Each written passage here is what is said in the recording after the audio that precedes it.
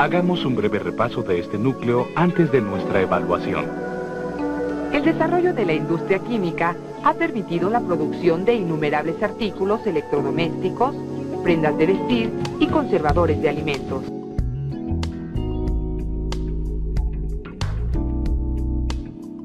Además, los vehículos automotores, los fertilizantes,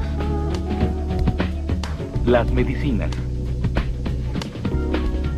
las vacunas y los materiales de curación son otras de las aplicaciones de la química. Sin embargo, el desarrollo industrial trae consigo contaminación del ambiente, ya que se generan desechos, que van desde humos y polvo hasta sustancias tóxicas. Asimismo, muchos productos como los limpiadores, aerosoles, insecticidas, solventes y plásticos contaminan el ambiente, pues no son biodegradables. Como parte de la solución a este problema está el reciclaje y la reutilización. Además, es indispensable sustituir los combustibles fósiles por otras fuentes de energía, como la biomasa, la hidráulica, la eólica, la oceánica y la solar. Esta última podemos aplicarla en nuestro beneficio a través de diversos proyectos. Por todo ello, es importante que asumamos una actitud responsable frente al uso y aprovechamiento de nuestros recursos y de los materiales desarrollados por la industria.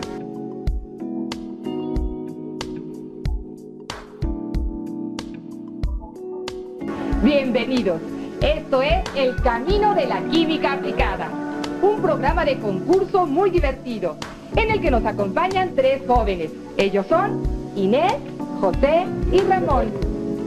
El concurso es muy sencillo, solamente hay que entrar en esta cabina. Los papeles que están adentro contienen los números de las posibles preguntas con sus respuestas. Al cerrar la puerta, los papeles volarán, atrapan uno, salen y me lo dan. Y ustedes en sus salones también van a concursar. En su guía de aprendizaje anotarán la letra de la respuesta que crean que es la correcta. Bueno, pues dicho esto, vamos a comenzar. El camino de la química aplicada. Comenzamos con... José.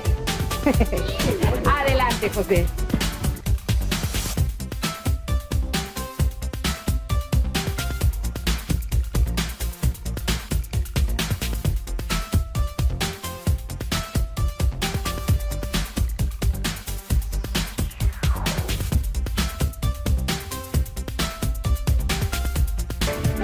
Eso es. Gracias, José. La primera pregunta dice así. Se utiliza como conservador en los alimentos procesados. Las opciones son A. Hidróxido de aluminio. B. Ácido clorhídrico. C. Ácido benzoico. O D. Ácido retinoico.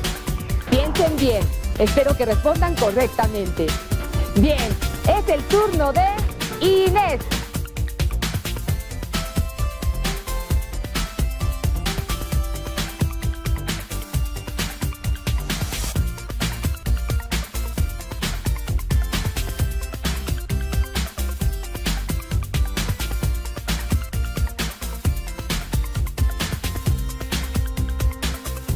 Lo tiene Inés y la siguiente pregunta dice, ¿cuáles son los productos que contribuyen a la destrucción de la capa de ozono? Las respuestas son A, jabones, B, aerosoles, C, espumas o D, solventes. Y ahora le toca el turno a Ramón.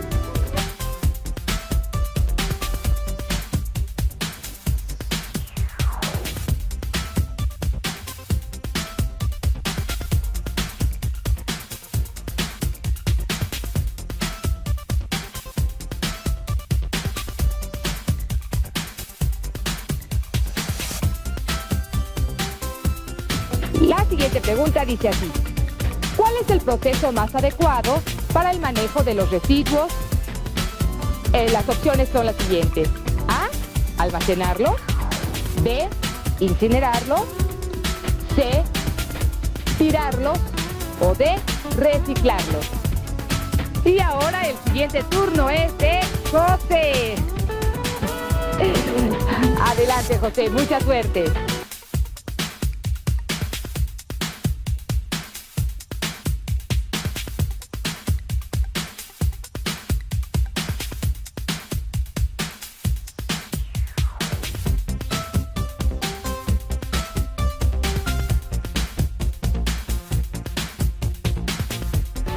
Esta es la siguiente pregunta.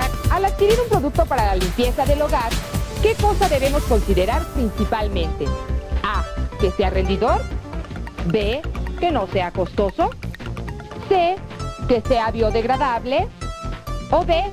Que tenga un bonito empaque. Y ahora nuevamente el turno es de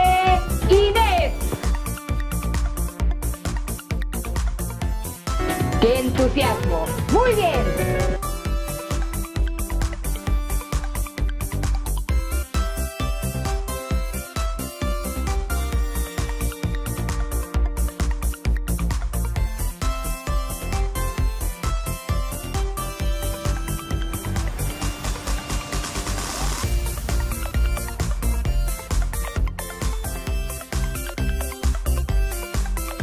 Muy bien.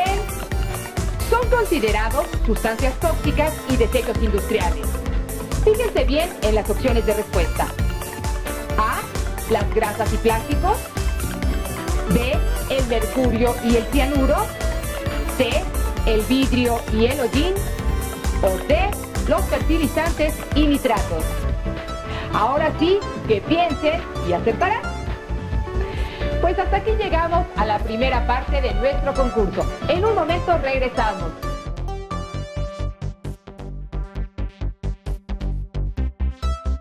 Pues así como que no quiere la cosa, ya pasamos la primera mitad de nuestro concurso. Te toca pasar, Ramón. Mucha suerte.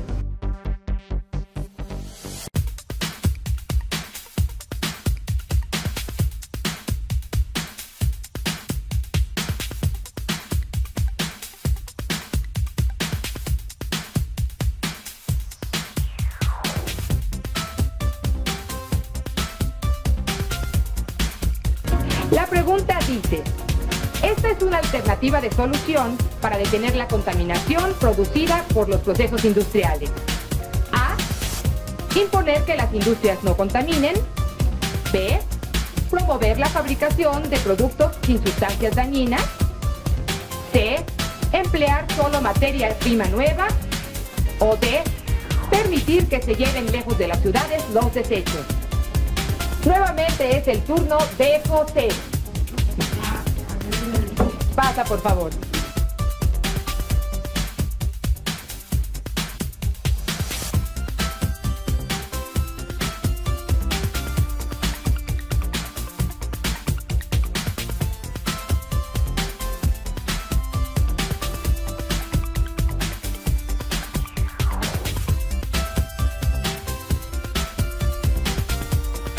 Esta es la siguiente pregunta.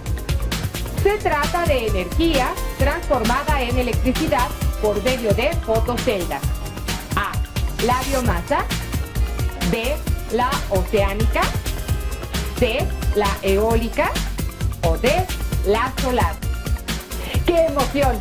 Ya nos estamos acercando al final del camino de la química aplicada. Pero mientras toca su turno a Inés. Vamos a seguir con mucho entusiasmo. Pasa, por favor.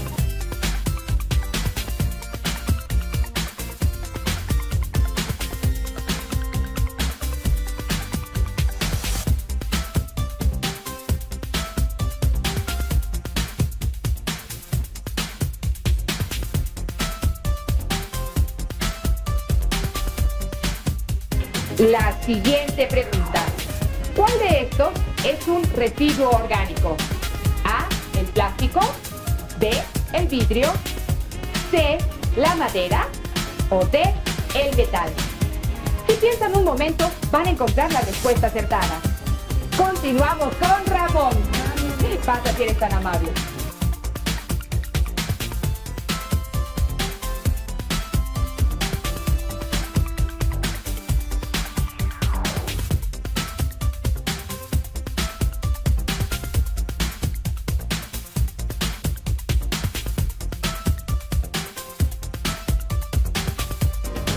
Siguiente pregunta dice así.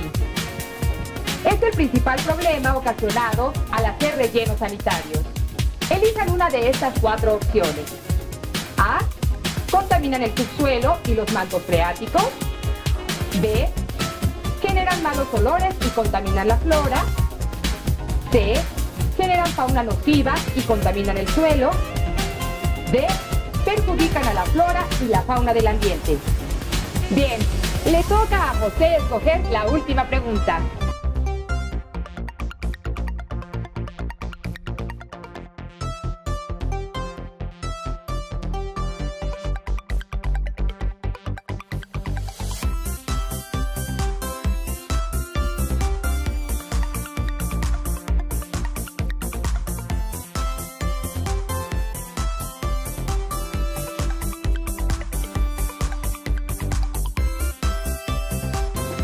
La última pregunta del concurso dice así. ¿Cuál es la energía que se obtiene a partir de las corrientes de aire? A. La oceánica. B. La solar. C. La eólica. O D. La nuclear. Pues el camino de la química aplicada ha terminado. Les deseo mucha suerte a nuestros concursantes y también a todos ustedes que han participado desde sus salones. Vamos a ver los resultados de nuestros concursantes.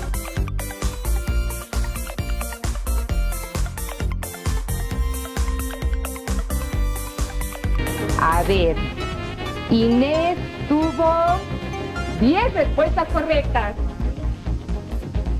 Ramón también acertó sus 10 respuestas. Y José.